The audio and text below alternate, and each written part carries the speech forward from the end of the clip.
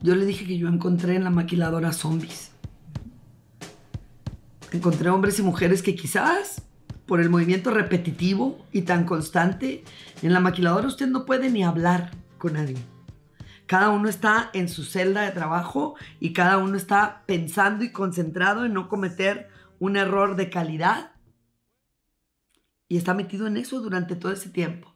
Pero también tiene usted supervisores de producción, asistentes de recursos humanos, gerentes de producción, de planta, de recursos humanos mismos, que están todo el día, especialmente los supervisores y los jefes de grupo, que son con quienes los operadores tienen contacto directo, sembrándoles en la cabeza, en el alma, en la vida misma, que ellos por no haber ido a la escuela no tienen derecho a nada. Es un castigo constante. Usted no estudió, chinguele a la máquina. Así, usted no estudió, chinguele a la máquina. A mujeres de 50 años de edad, de 58 años de edad, de 54 años de edad, que tienen una trayectoria en la maquiladora de 40 años de antigüedad.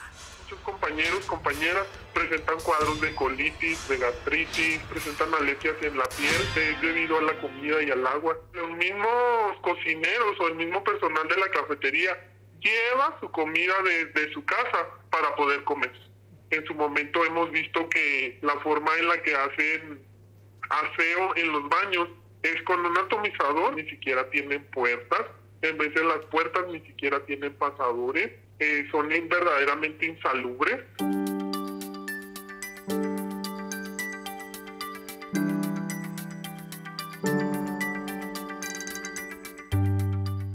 La primera queja fue de que no daban gel antibacterial y les dijeron lávense bien las manos con el jabón que hay en, los lavamanos. Pero pues el jabón estaba rebajado con agua, entonces pues ya no tenía la misma efectividad. Gracias al WhatsApp supimos quién había fallecido, cómo se llamaba, por qué, cuándo, cuándo entraron los de la planta, qué hay adentro de la planta, cuáles fueron las medidas que están tomando y las que no. Cuando ya corroboramos que sí, en, en efecto se había muerto y que había muerto por esas circunstancias, fue cuando ya empezó el caos y la histeria, porque pues ya, ya teníamos el primer precedente y ya era el primer muerto. Después hubo otro muerto, después otro, y de ahí siguieron más hasta, hasta sumar 10. Llegaron a decir que ese señor, ese compañero que decíamos, ni siquiera trabajaba en la planta. El señor se muere sin saber que su esposa se había muerto cinco días atrás. Esa familia quedó mutilada, todo por la él mismo de unos empresarios que para empezar son extranjeros.